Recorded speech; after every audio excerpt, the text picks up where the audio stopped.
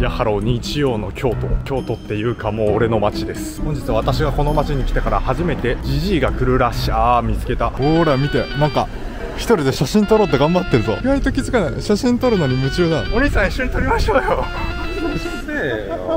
父はチャリを借り俺はもちろん自分の自転車。ちょっとチャリ旅しよう。運動しろじじいさあお父さんはなんか新選組が好きらしくって池田屋事件の後の場所に来たいということなんで来ました。三条です。あったあった。池田屋事件の時の刀傷がまだ残ってるやつ見つけた日本刀ってすげえな。こんながっつり傷つくのか。まあ綺麗にはしてあると思うけど。乱闘の時の刀傷。こんなとこが逃げてきたっていう。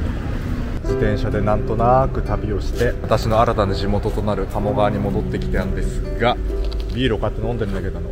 本当に何してんねん。本当トンビが多すぎてこのカメラすら持ってかれそうで怖いわ。日曜日はやっぱりトンビも休日なのね。わ我が父初めての出町柳飛び石。ワンちゃんいるけど。可愛いな。飛ぶ。これ落ちたら本当に笑えねえけどな。さすがにそんな年じゃねえよなじじい。ワンコ触ってんじゃないよ。俺もビールあるけど行くか。ほいおおいい子だな。足跡かわい。いあーこんにちは。ジャンプ。ナイス。